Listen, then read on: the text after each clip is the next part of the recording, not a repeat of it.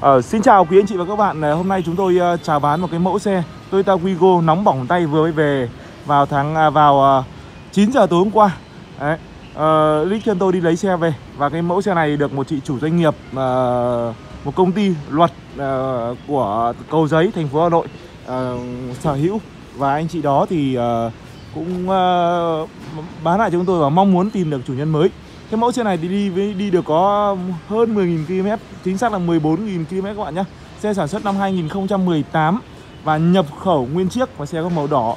Toàn bộ thì uh, xe đấy vẫn còn uh, gần như là zin các bạn nhé Lốp uh, sơ cua chưa hạ và cái thứ hai là lốp thì các bạn vẫn có thể nhìn thấy đây. Lốp vẫn chưa có dấu hiệu mòn nhiều.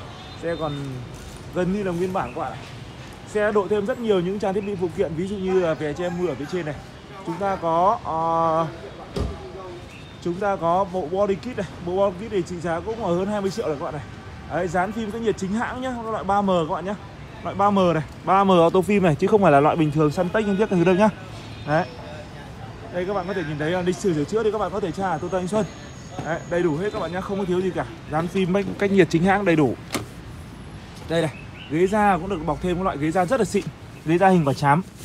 Nhìn rất là căng nét rất là đẳng cấp.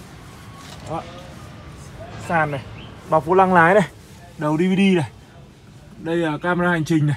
Nếu mà tính ra cái phần phụ kiện này thì cũng đã được lắp thêm. Đâu đó uh, cỡ khoảng uh, lắp thêm ờ, cái này thì đâu đó cỡ khoảng bốn năm mươi triệu phụ kiện các bạn nhá bốn năm mươi triệu phụ kiện. Các anh chị em thân mến thì uh, cái mức tiêu thụ nhiên liệu của cái mẫu xe này là 4 lít 3 ở ngoài đô thị trong đô thị là 6,87 lít và được kết hợp là 5,3 lít. Đấy, 5,3 lít các bạn nhé các anh chị em thân mến, thì ở đây, chúng ta có ờ, công tơ mét đây 14.613 km các bạn nhá. 14.613 km xe số tự động nhá. Đi trong phố thì cực kỳ tiết kiệm nhiên liệu. Đấy. Vô cùng